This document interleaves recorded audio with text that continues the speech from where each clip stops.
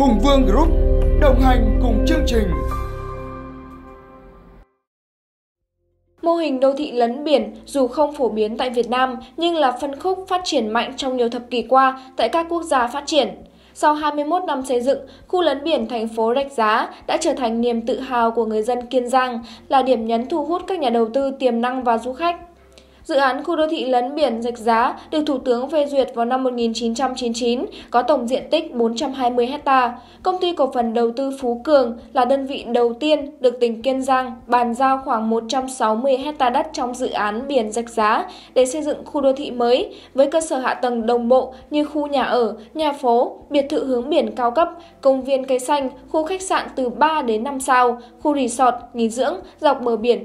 khu vui chơi giải trí với những trò chơi hiện đại, hấp dẫn, phục vụ cư dân địa phương và các khách du lịch. Đô thị lấn biển thu hút nhiều sự quan tâm của người dân bởi hướng nhìn về biển thoáng đãng, cảnh quan rộng mở, không khí trong lành, người dân dễ dàng di chuyển đến nơi làm việc, được thụ hưởng nhiều dịch vụ như giải trí, điểm ăn uống, tham quan hay thư giãn.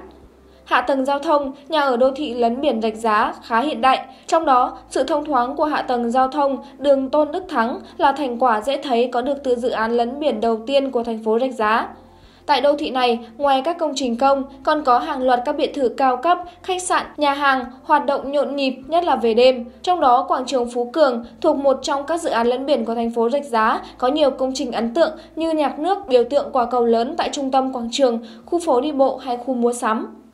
Các dự án lấn biển giành giá đã giải quyết đất ở cho hơn 60.000 người dân và là nơi xây dựng các công trình công ích xã hội, khu hành chính cấp tỉnh, quảng trường bệnh viện trường học.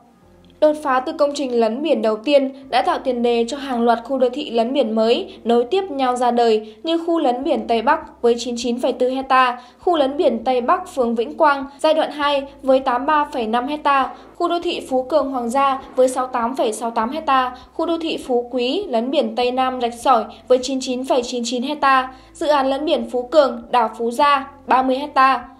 Với các dự án lấn biển trên, thành phố Rạch Giá, Kiên Giang trở thành một trong bốn đô thị trọng điểm của đồng bằng sông Cửu Long. Đây là đô thị lớn của vùng, là khu vực có nền kinh tế phát triển năng động của cả nước.